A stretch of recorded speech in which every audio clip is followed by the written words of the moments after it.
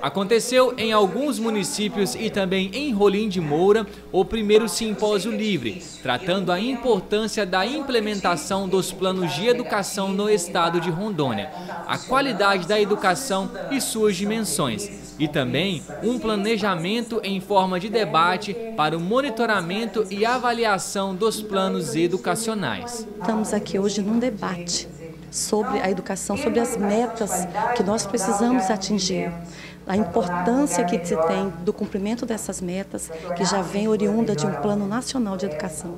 Então, estamos aqui, comunidade, várias entidades reunidas, discutindo justamente qual a efetividade das metas, sua implementação e como é que ela se processa dentro da sala de aula.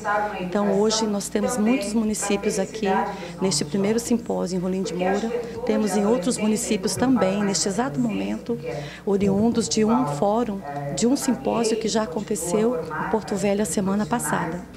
Quando se fala de discussão da educação, todos os profissionais são importantes.